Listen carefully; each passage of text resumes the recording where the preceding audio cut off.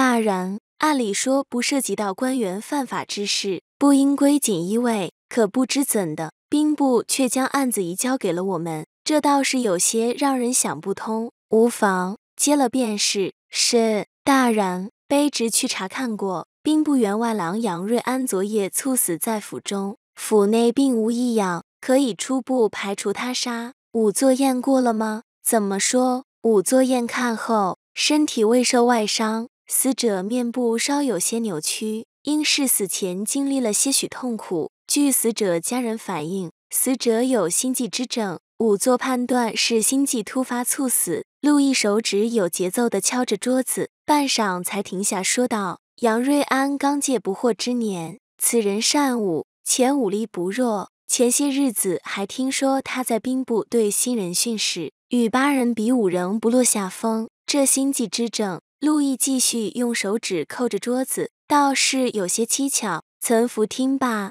想了想，大人可是怀疑他的死因？陆毅点了点头，走，带我去看看。路易仔细查看了尸体，除了面部有些扭曲，其他却是不见异常。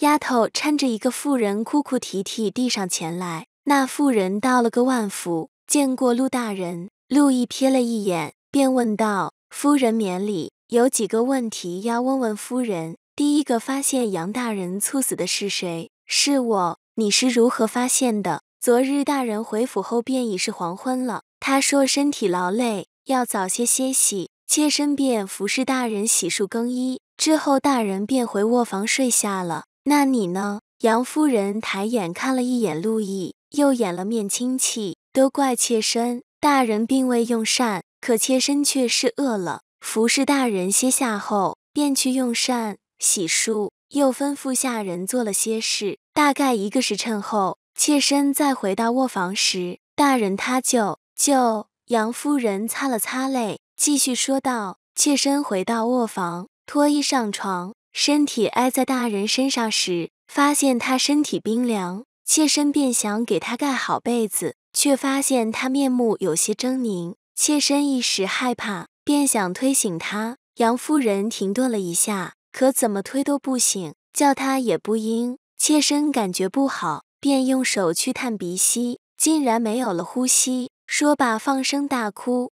陆毅等了半晌，那杨夫人才止住哭声。我家大人一向有心悸之症，妾身想定是公务繁忙，大人身体累到极致，因而突发心悸致死。今日仵作验尸也是如此说的。这位大人当时在场。杨夫人看了看岑福，还请杨夫人节哀。陆毅说罢，抬脚就要走。那杨夫人道了个万福。妾身送陆大人，突然哎呦一声，陆毅回头一看，原是那丫头不小心踩住了杨夫人的裙摆。杨夫人行礼起身时险些摔倒，丫头手忙脚乱去扶。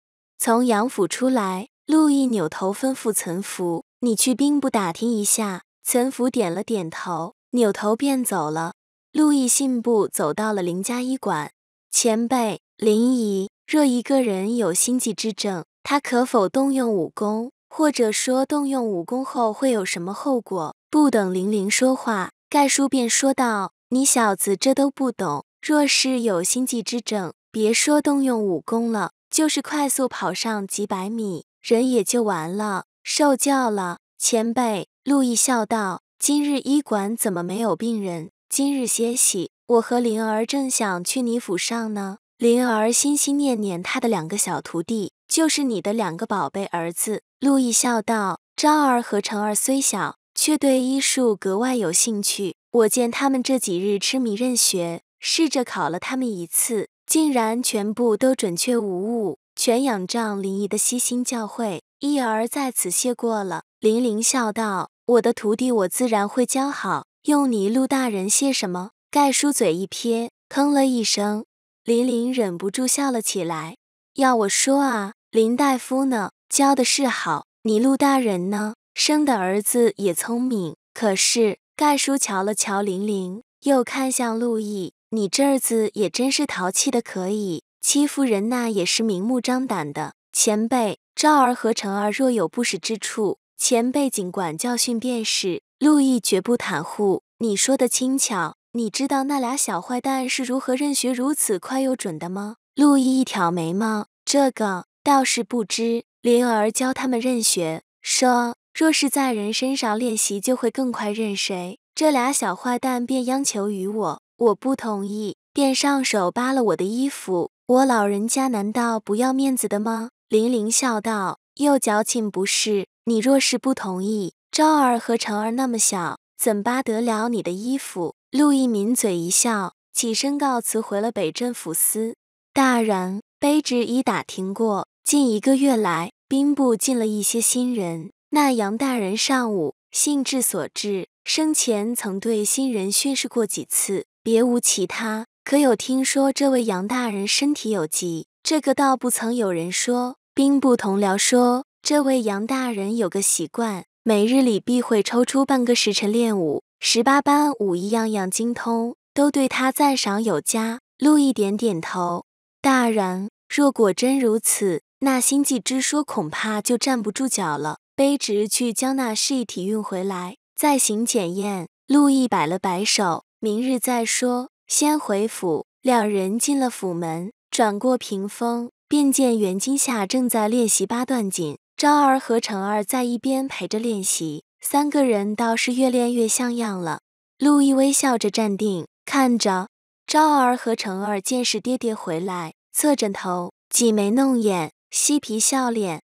陆毅将脸一扳，严肃起来。两个娃娃一伸舌头，立刻将头扭正了。袁金夏收了势，转身看见陆毅和岑福，便笑着走过来：“大人，岑福，你们回来了。”等陆毅微笑。探了身子，温声问道：“练了这么久，感觉如何？还不错，就是有些腻歪。大人，这一天练两遍，可否？”袁金夏突然停了，鼻子嗅了嗅，凑近陆毅身边，又闻了半天，疑惑地盯着陆毅。